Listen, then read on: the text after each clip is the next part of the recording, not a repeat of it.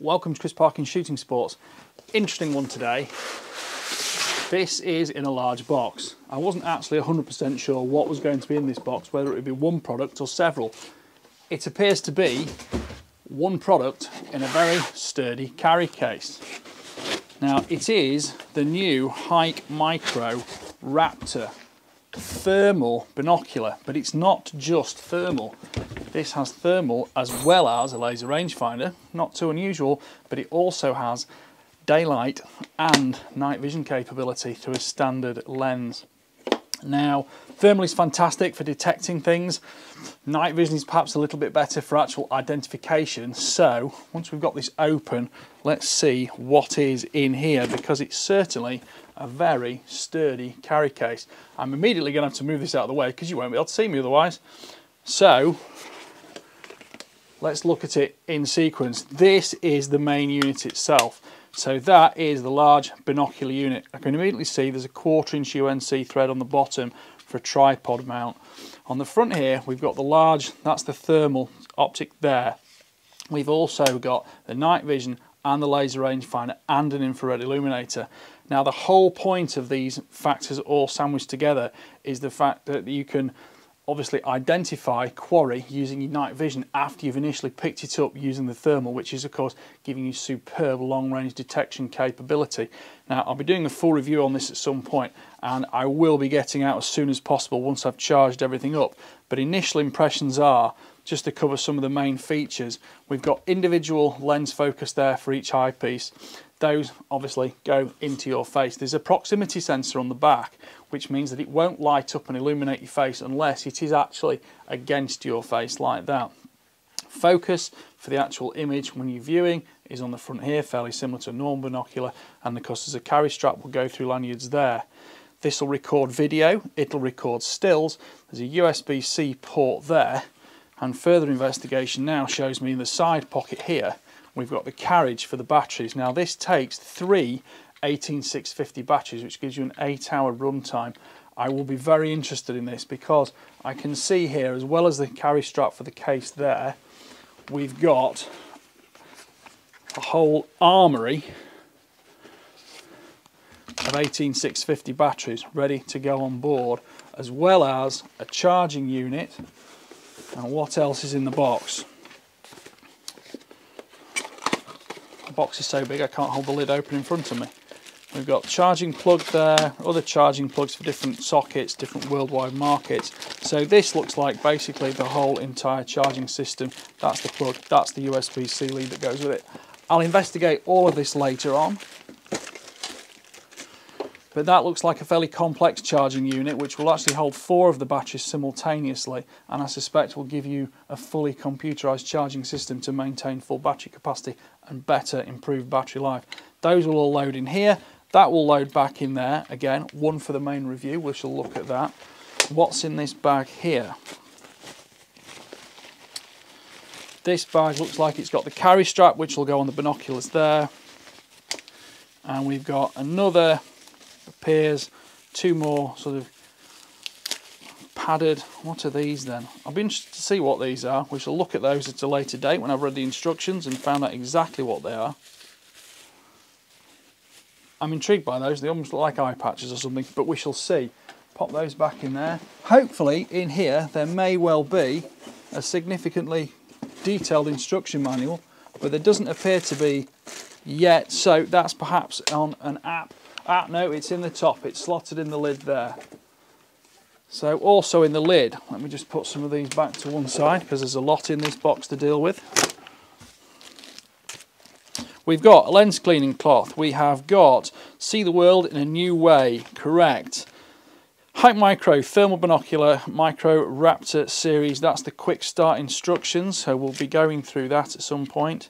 And here we've also got battery charger instructions as well. Now, I suspect the battery charger will be complex and it will be pretty much taking care of life for you in terms of all these batteries.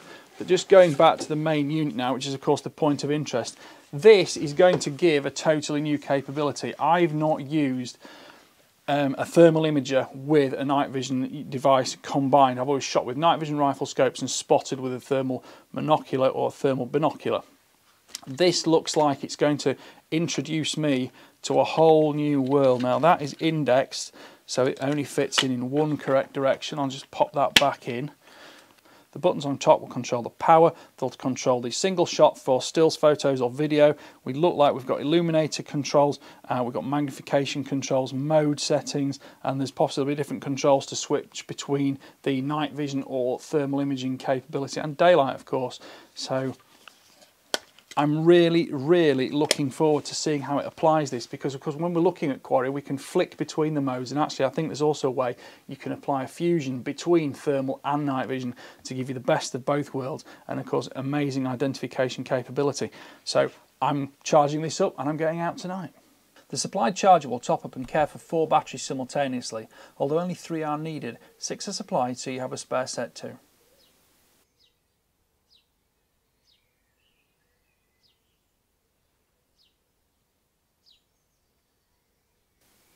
On first arrival at the farm, it was great to see these fallow deer approximately 600 metres away. There are also a lot of hares visible on these freshly drilled fields all the way out to 800 metres in the distance.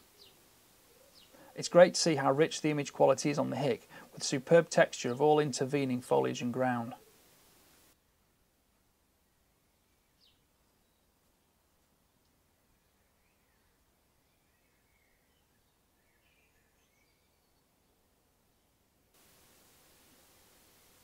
This group of roe is approximately 300 metres away.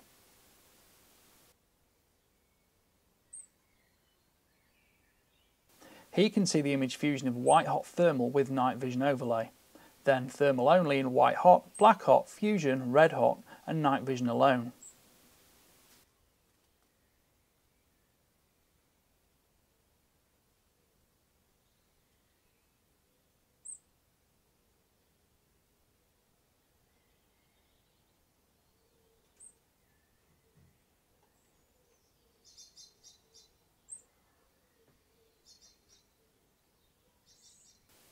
You can clearly see the full velvet on the head of this roebuck with two does alongside it at approximately 100 metres.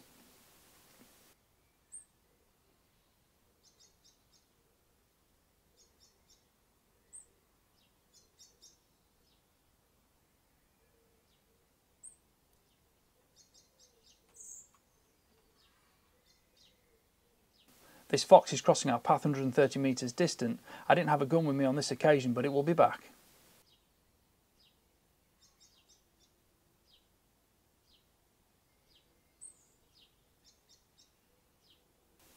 Focal length is 50mm for a baseline optical magnification of 3.4 times zoom before 1248 digital zoom is applied.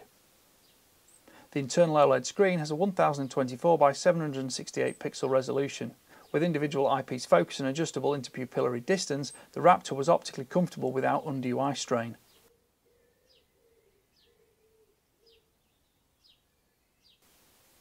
This is a great demonstration of how thermal will pick up partially hidden quarry that night vision alone is almost blind to. Note the image contrast in other palettes and fusion mode.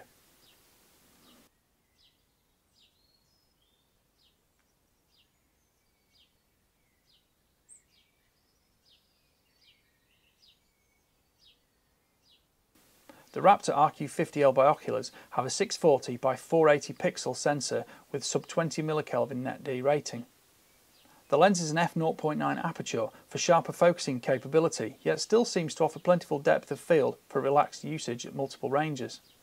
I didn't find the need to constantly refocus when scanning the areas between close and long ranges. The smooth picture flow allows all motion to be assessed and when a rat appears close by compared to the hare by the tree, it's easily noted and not just a blur.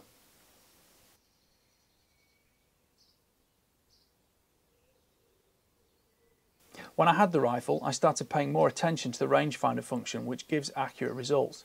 The laser splash is visible in image fusion or night vision modes and coincides perfectly with the on-screen reticle to ping exact locations and quarry ready for the shot.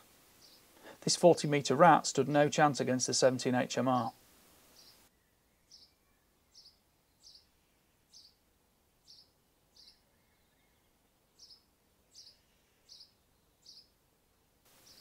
This clip illustrates the smooth 25Hz refresh rate on screen with the Rodia running in to meet its family unit.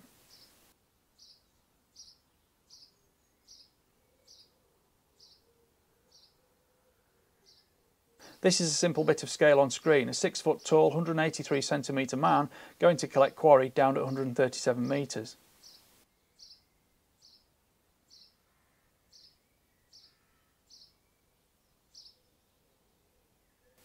Another rat, this time at 36 metres.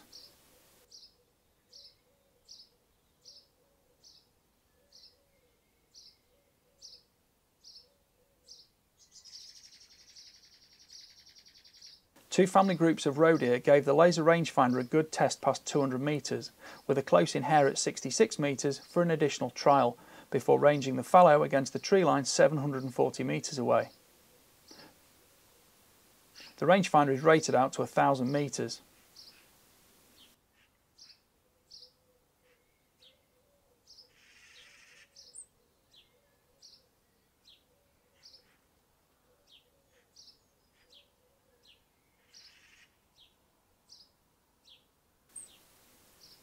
I got 4 hours of use with 50% of the battery charge remaining on the internal display. Sound and video recording was easy with tactile button presses, as were the rest of the controls that responded without any lag or crashed firmware. Storage capacity for stills or video is 64 gigabytes, which was plentiful for my requirements. Well, thank you for watching. Please like, subscribe, comment and click the notification bell to keep track of my regular uploads. Thank you for watching. Bye for now.